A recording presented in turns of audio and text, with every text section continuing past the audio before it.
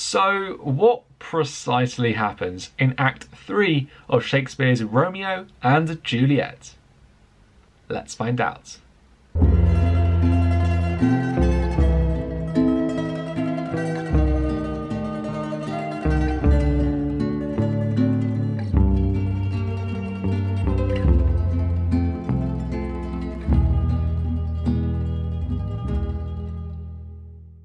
How's it going, Revision Squad? It's me, Liam, aka Mr. Knight, aka Dystopia Junkie, and in this video I will be summarising what happens in Act 3 of Shakespeare's Romeo and Juliet. Now quite a bit happens in this part of the play, and so I really do hope that this video helps you out as you are studying or revising it. And if it does, you can let me know by giving this video a like, writing a comment on it, sharing it with anyone else who you think might find it helpful, and of course, if you aren't already, subscribing to my channel. Any of that stuff would mean absolutely loads, so thank you so much in advance.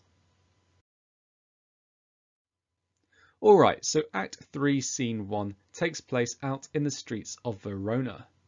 Mercutio and Benvolio enter, and Benvolio announces that it is a particularly hot day, which might explain why Mercutio is in a particularly feisty mood. Tybalt enters the scene and makes an attempt at speaking politely with Mercutio and Benvolio. Mercutio is having none of it though, and so he looks to start a fight. A little bit later, Romeo turns up, and this prompts Tybalt to get angry and express his hatred for Romeo. Romeo, though, he doesn't bite back and instead attempts to defuse the situation. Romeo's peacefulness angers Mercutio, who draws his sword and challenges Tybalt to a fight. Tybalt rises to the challenge and likewise draws his sword. Seeing all of this happen suddenly, Romeo begs Mercutio to put his sword away, but Mercutio and Tybalt ignore his pleas and begin to fight. As they fight, Romeo tries to stand between them in an attempt to break them up. And as he does this, well, Tybalt stabs Mercutio under Romeo's arm and then quickly flees. Mercutio is clearly hurt by his wounds. Benvolio takes him off stage and Mercutio dies. Shortly afterwards, Tybalt returns. Now angry at the Capulet man, Romeo fights him. After a short scuffle, Romeo kills Tybalt, and then, just like Tybalt before him, flees. A whole host of characters then turn up. Prince Escalus, the Montague and Capulet parents, and various others. Seeing the sight of her dead nephew, Lady Capulet is very, very sad. Benvolio tries to explain what has happened here in an attempt to make Romeo not seem like a total villain. Now Prince Escalus thinks about what Benvolio tells him for a moment and then formally exiles Romeo from Verona, which means that he is forbidden from entering the city. Away from all that drama, Act 3, Scene 2 takes place in Juliet's room, where she is impatiently awaiting Romeo's visit. Nurse turns up, distressed. After a spot of confusion, she tells Juliet that Romeo has been banished and that Tybalt is dead killed by Romeo.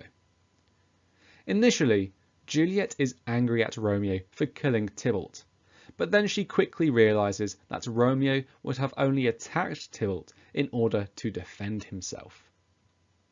Juliet then states that she sees Romeo's banishment as being worse than the death of her entire family. As the scene comes to a close, Nurse says that she will bring Romeo to Juliet. Over in Friar Lawrence's cell, the friar informs Romeo that he has been officially banished by the prince. Romeo exclaims that he would rather be dead because banishment means that he cannot be with Juliet. The young Montague is very emotional in this scene. After a while, Juliet's nurse enters. She tells him that although Juliet is very sad about everything that has happened recently, she is patiently awaiting his arrival at her bedroom. Hearing that Juliet wishes to see him, Romeo's mood improves dramatically. Act 3, Scene 4 takes place somewhere in the Capulet household. Here, Lord Capulet explains to Paris that Juliet is too upset by Tybalt's death to see him. Paris has presumably come to see Juliet and attempt to woo her. Despite Juliet's current sadness, Lord Capulet tells Paris that he may marry her as soon as Thursday, only a few days away. Following this, Lord Capulet commands his wife to tell Juliet that she will be getting married to Paris later this week. Act 3, Scene 5 takes place only moments later and is set in Juliet's bedroom. Here, Romeo is convinced that it is daytime, and so he must leave in order to not be caught breaking his exile. Juliet, though, tries to convince him that it is still night time, which means he could stay for longer. Romeo is convinced, and he then says that he would happily be captured if that is what Juliet wishes. All this mention of Romeo being captured worries Juliet, who now suddenly says that it is in fact daytime and Romeo really does need to go. Just as this is happening, Juliet's nurse arrives and tells her that Lady Capulet is on her way to talk to Juliet, and this hastens Romeo's departure. Lady Capulet enters the scene and quickly mocks Juliet, who she thinks is still upset over Tybalt's death. You know, the death that only occurred yesterday. After this, Lady Capulet speaks angrily about Romeo and Juliet plays along, so as to not reveal her true feelings for him. Next, Lady Capulet informs Juliet that she will be married to Paris on Thursday. And this, well, this is something that Juliet completely rejects. And Lady Capulet is incredibly displeased by her daughter's refusal. With Lady Capulet thoroughly annoyed, Lord Capulet enters the scene. Much like his wife before him, he mocks Juliet for being sad. Following this, Lady Capulet explains to her husband that Juliet is refusing to marry Paris. Lord Capulet, in response to this, is confused. He literally cannot comprehend the fact that Juliet is defying him. Of course, what he does not know is that Juliet is already married, and that to marry another man would be frowned upon by God. As such, he gets really, really angry and says a lot of horribly abusive things to his daughter. Desperate, Juliet begs her father to listen to her, but he does not, and instead just insults her some more. Still really, really mad, Lord Capulet lashes out at the nurse by being incredibly rude to her. He then says that if Juliet does not obey him and marry Paris, she will be as good as dead to him. With this ultimatum delivered, he leaves. Juliet then begs her mother to delay the wedding, but Lady Capulet turns around and says that she does not care about Juliet anymore. With this cruel statement made, she also leaves. Abandoned by her parents, Juliet turns to the nurse for advice. The nurse says that Juliet should give up on Romeo, he is banished after all, and should instead just get on and marry Paris, who, she argues, is far superior to Romeo anyway.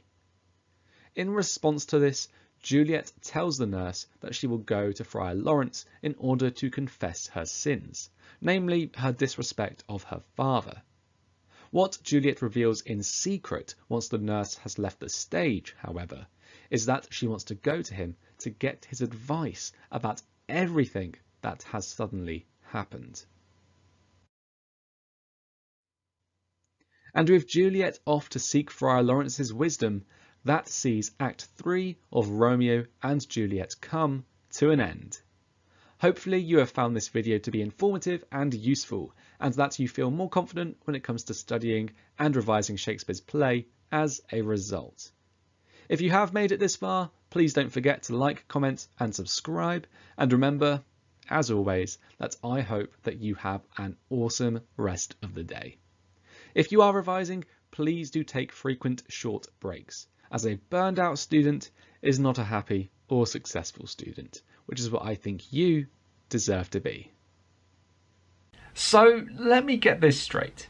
In Act 3 of Romeo and Juliet, we have two characters killed, one character exiled, one marriage arranged, and one set of incredibly annoyed parents.